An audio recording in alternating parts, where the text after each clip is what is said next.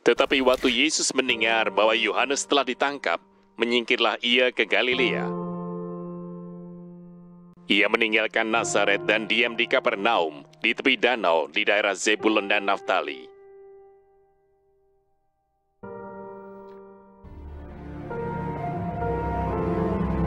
Supaya genaplah firman yang disampaikan oleh Nabi Yesaya.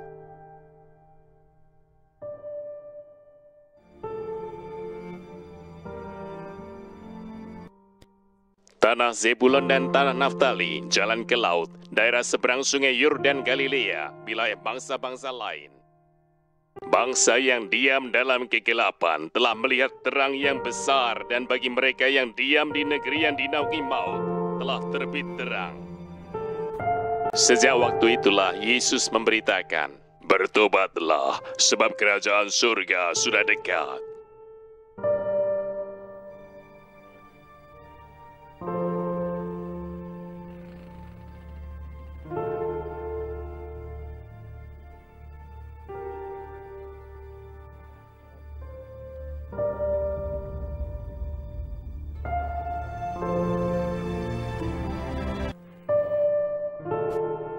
Dan ketika Yesus sedang berjalan menyusur danau Galilea, ia melihat dua orang bersaudara, yaitu Simon yang disebut Petrus dan Andreas saudaranya.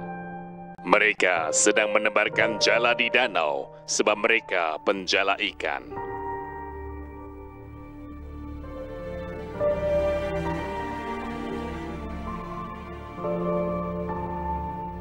Yesus berkata kepada mereka, Mari, ikutlah aku, dan kamu akan kujadikan penjala manusia.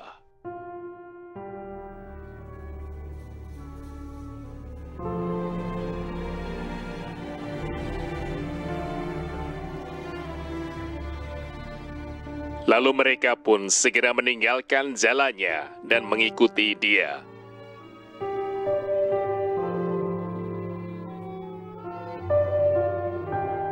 Dan setelah Yesus pergi dari sana, dilihatnya pula dua orang bersaudara, yaitu Yakobus anak Zebedius dan Yohanes saudaranya. Bersama ayah mereka, Zebedius, sedang membereskan jala di dalam perahu.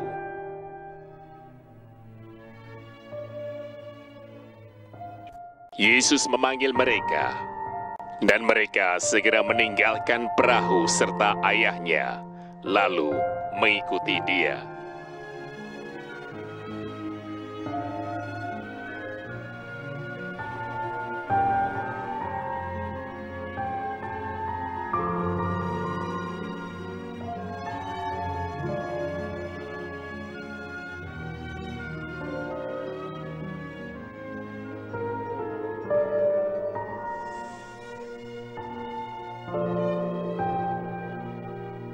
Yesus pun berkeliling di seluruh Galilea. Ia mengajar dalam rumah-rumah ibadat dan memberitakan Injil Kerajaan Allah, serta melenyapkan segala penyakit dan kelemahan di antara bangsa itu.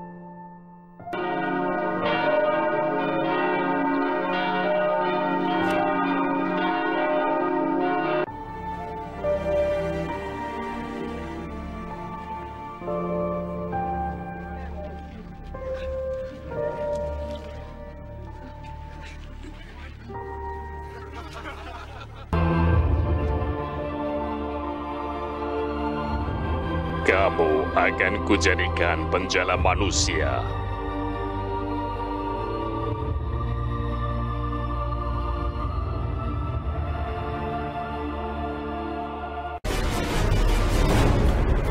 Mari, ikutlah aku.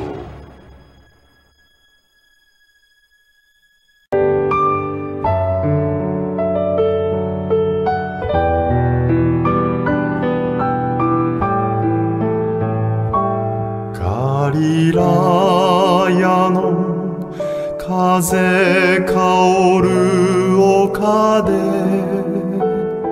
人々に話された。恵みの御言葉を私にも聞かせてください。